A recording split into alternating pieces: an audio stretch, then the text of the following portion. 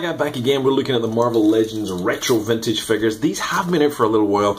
I've just been a little bit slow to get to review them, and I, partly because I kind of thought they were exciting, and now they've got them in hand. I'm kind of like, actually, these are not great in any way. But anyway, we'll have a look at them and discuss more. So let's look at the figure in just a second and what he comes with. Packaging wise, damn, this does look good. So we get some fairly nice artwork here, uh, as I was saying in the Black Widow. Um, review. It's nice to get all the logos for all the characters from the comic books, and it's beautiful, big, huge cards, very nicely done. Boot thrusters is the kind of feature that's uh, highlighted here. Reasonable artwork here. The Black Widow was not great. This one's a little better, but uh, I think by the same artist. We do get on the pack, uh, if I can open it up a little bit, I'm going to ruin it the um, artwork for uh, all of the characters there. There's Hulk and Cap, and that'd be nicer to kind of just highlight that even more, I think, on the packaging. But uh, still, packaging not bad, artwork okay, uh, details on the back, and it almost looks like a GI Joe card here with this kind of little, uh, almost like cutout piece, but. Very nice, very Secret Wars-ish, uh, very going back to into time, but uh, I do like this. It is quite nice. So the cards definitely are good. Uh, when it comes to into the figure, this one is a bit of a rehash yet again, the same as Black Widow. This one has came out effectively before. Uh, I think the only difference, and I might be wrong, is this little cutout section in the legs and on these uh, arms up here. Uh, but this figure predominantly has uh, came out in the past. I am absolutely sure of. Um, um, I've got it somewhere. There's so many boxes of Iron Man, I just don't know where they are anymore. But um, yeah, we've had the same figure, so it's kind of a re-release again. Uh, I don't blame them for doing that, but you know, re-release some really good classic figures that we love. These are kind of these were kind of peg warmers and never really sold. So by putting it into a, a vintage card, is that necessarily going to make it sell? Well, some retailers and e-tailers are selling for like five bucks in some cases, which is ridiculous because you're just continuing to put the toy industry out of business. But but there we go. So we get some little thrusters. We've seen these thrusters before. Uh, these have also came out recently with the Invincible Iron Man, so it's the exact same uh, little thrust piece that we've had before. You could even just swap them around.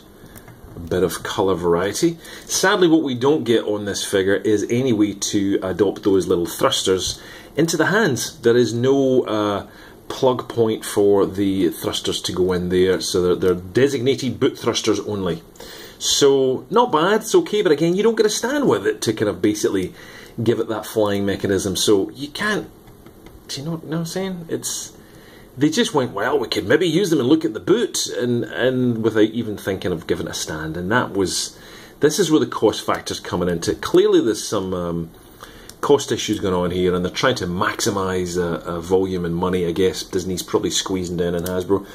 But uh, yeah, this is it's an okay figure. It looks kind of retro cool, but again, we've had this figure. We've had the thrusters. There's no stand in it.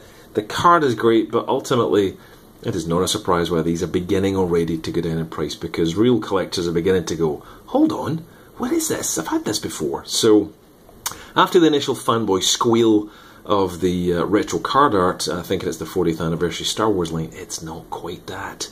But I'd love to know your thoughts. What do you think? Leave a comment below and uh, tell us if you think uh, these are absolutely wonderful or not. As it stands, it's not a terrible figure. There are some nice uh, details on this, uh, in this kind of old classic style. The head is on a ball joint. There we go. Yep, you can just see. So there's kind of limited movement. It does make it a little bit loose and wobbly, but um, relatively reasonable and easy to turn. This is an almost translucent plastic placed on top of this uh, other parts of the, the figure there. These are flaps, always about the flaps, and uh, that does allow you to get into better poses with Iron Man, but ultimately leaves them looking just a little daft, really. It doesn't quite work, so... Um, yeah, I'd almost just rather you just painted that entirely red there. I don't know. Anyway, look, it's the way it is. Uh, but you get that bulge out with the hinge up at the top of the shoulders. We get a swivel bicep. We get a double joint at the elbows. We don't get an extra. Oh, we do. There you go. Bonus. Because these, that's why, these come off. That's right, forgot about that. So there you go. And uh, we get a hand there with a swivel and both back and forth. So plenty of movement that way. Pretty reasonable ab crunch, not too bad.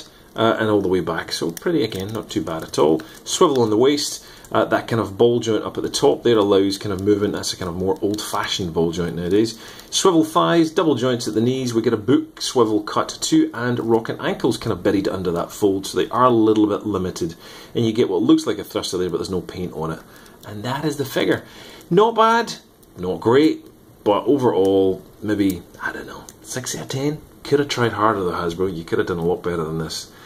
But uh, the truth will be told with how many of these are left sitting on the pegs. And I think given the retro card art, fanatics like me will just buy them anyway. So uh, yeah, they've got us in the short curlies, unfortunately. So anyway, let us know what you think, and we'll carry on reviewing the rest of this retro Marvel Legends vintage wave. If you want to pick this up, there's a link in the description below somewhere, and you can go and grab them if you can. That's it for me. We'll see you for more coming up soon.